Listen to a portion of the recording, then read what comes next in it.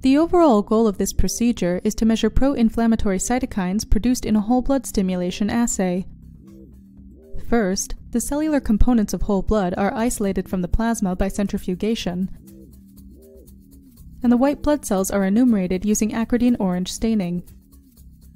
Next, the cells are plated and stimulated with LPS followed by ATP to elicit cytokine production by cells bearing microbial pattern recognition receptors.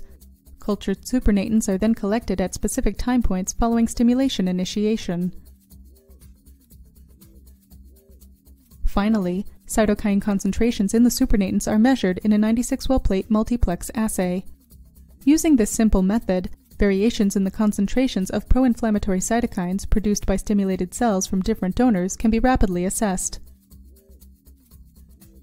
This method is especially useful to identify IL-1-mediated inflammatory disease in patients presenting with pathologically anti-inflammatory manifestation, particularly under circumstances where the volume of blood obtainable is limited. The main advantage of this technique over existing methods when measuring cytokine concentrations is that the Luminex-based technology allows the simultaneous measurements of several cytokines while only using a small sample volume.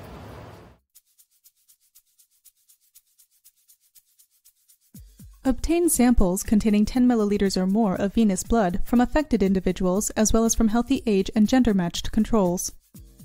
Ensure that the samples are collected in sodium heparin Vacutainer blood collection tubes and that EDTA or other anticoagulants are not added as these will interfere with the assay, and process the samples as soon as possible after collection.